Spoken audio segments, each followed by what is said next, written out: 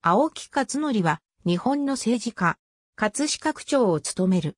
1949年2月16日、岐阜県高山市に生まれる。小学校3年の時に葛飾区に転居した。1967年に東京都立葛飾屋高等学校を卒業した。同年、葛飾区役所に入職した。区役所では1996年に地域振興部長を、2003年に政策経営部長を経て、2006年に収入役に就任した。2009年7月31日付で区役所を退職した。同年11月8日投票の葛飾区長選挙に立候補して新人4人を破って当選した。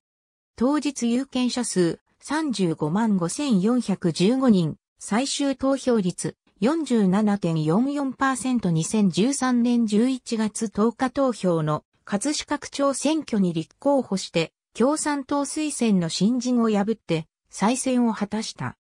当日有権者数35万8492人、最終投票率 41.66%2017 年11月12日投票の葛飾区長選挙に立候補して共産党支持の新人を破って参戦を果たした。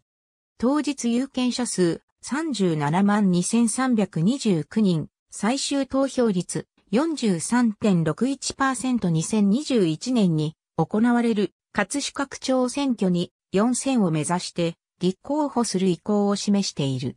ありがとうございます。